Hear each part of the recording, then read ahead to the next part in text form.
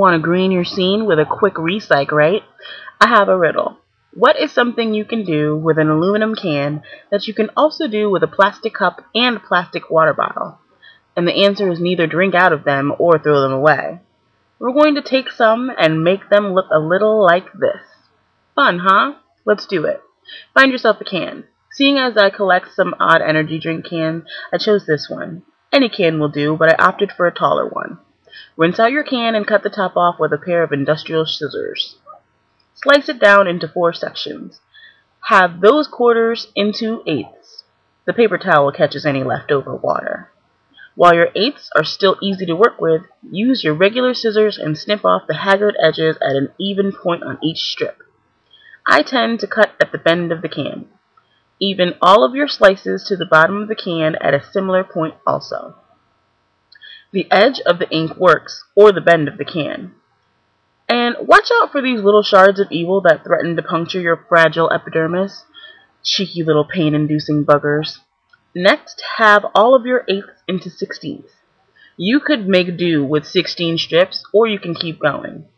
And the inside should be dry by now. Halve all of your sixteenths into 30 seconds. As you cut down the can, make sure you're ending at the same point at the bottom of the can or else it'll look odd. And you'll end up with something like this. Gorgeous. Now you can pull out a pair of pliers, or if you don't have any, you can use a clothespin. Bend each strip of the can down. Let me clarify. The fold should hide the ink on the outside of the can. This part is tricky because your can will become very disobedient and willful, and it's hard to describe. Holding the can in front of you, Hold one strip between your thumb and forefinger with your thumbnail toward you. Turn the strip so your thumb faces down. Then twist it so your thumb faces the can. Hook it behind any of the strips it seems to be floating towards. Mine is about five strips away from the original, but it can really depend on how tall your can is, and also the width of the strips.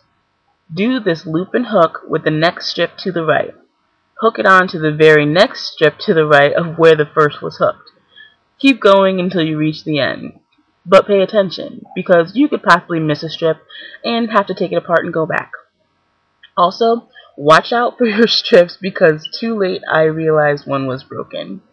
In the end, you'll wind up with something like this. It's not my best work, seeing as one of the strips broke, and the poor thing is uneven, but it's the basic idea. I much more prefer this one made of a tall iced tea can. You know which ones I'm talking about. And yeah, that mat underneath is made of duct tape. Now then, if you're working with something made of plastic, obviously too fragile to withstand that bend we made with the pliers. Cutting it makes the edges more coarse than aluminum, so you can just loop and tuck instead of bending it. Also, the length of each slice should only extend to the ridge just before the bottom of the cup. This is a plastic cup. The strips are sixteenths, and it's being used for something already. This plastic cup is slit into 30 seconds. Although the strips on this cup are all the same width, you can improvise. This red plastic cup is cut into 30 seconds too, but with alternating widths. It gives it more dimension, or something artistic I should say. And this one is my favorite, and the only one my mother didn't condemn to my computer desk, because it sits proudly in the living room, it's a plastic water bottle. The only way to see how positively sweet this thing looks is to make one yourself.